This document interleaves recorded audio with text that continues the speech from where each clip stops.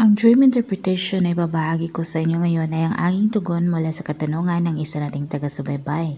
Kaya shoutout sa iyo ma'am, sana ang interpretasyon na ito ang sagot sa iyong katanungan. At para na din sa inyo dyan na may tulad sa panaginip na ito. Pero bago ang lahat, kung ikaw ay bago pa lang sa aking channel ay huwag kalimutang mag-like, mag-subscribe at i-hit na din ang notification bell para magiging updated kayo lagi. At sana i-follow nyo din ang aking Facebook page, Rai TV at i-share nyo na din. Maraming salamat.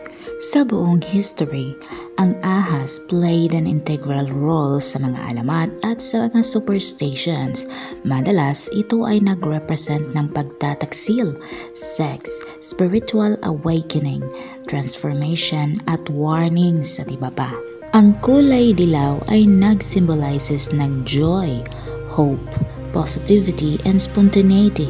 So ano nga ba ang kahulugan kapag nanaginip ka ng dilaw na ahas? Kapag nakakita ka ng dilaw na ahas na gumagalaw ng mabilis papunta sa iyo sa iyong panaginip, ito ay nagpapahiwati na you will be reborn. Minsan ang mga ahas na ito ay nagpapakita sa panaginip para mag-signify ng panibagong simula o kaya naman ay para i-encourage ka na mag-focus sa iyong personal growth. Ang pagkakita naman ng maliit na dilaw ilaw na ahas sa panaginip ay sumisimbolo ng problema na maaaring nalalapit na kaya dapat alam mo ang mga maaari at posibleng sitwasyon.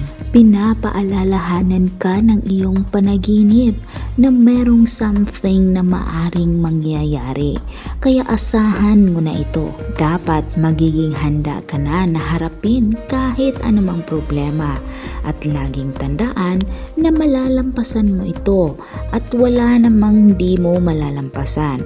Pero ito ay nakadepende pa rin lahat sa iyo. Maaari din na ito ay nagpapahiwatig na naghahanap ka ng something.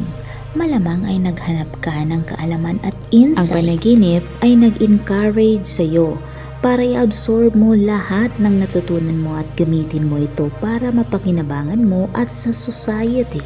At kung ikaw ay naghahanap ng magpapasigla at magpapaaliw sa iyo, ang panaginip ay nagbabala sa iyo na mag-ingat sa paghakbang. Ito ay dahil maaaring samantalahin ng iba ang iyong pagiging walang muwang. Sana nagustuhan niyo ang dream interpretation na ibinahagi ko sa inyo ngayon at makibahagi na din sa inyong mga katanungan at opinion sa pamamagitan ng pagkomento sa baba.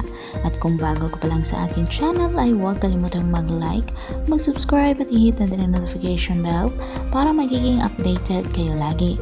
At sana i-follow niyo din ang aking Facebook page, Duray TV at i-share niyo na din. Hanggang sa muli, maraming salamat. Paalam!